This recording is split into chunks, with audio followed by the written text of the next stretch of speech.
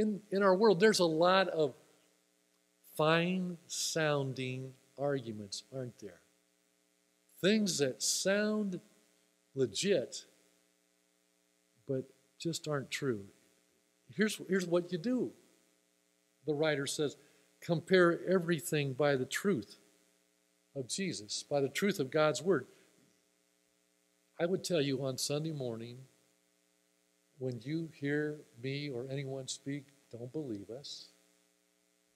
Compare everything you hear to the Word of God. If it doesn't equal to the Word of God, ignore everything I had to say. Ignore anybody else as well. Listen to the Word of God. Don't believe your friends, your professors.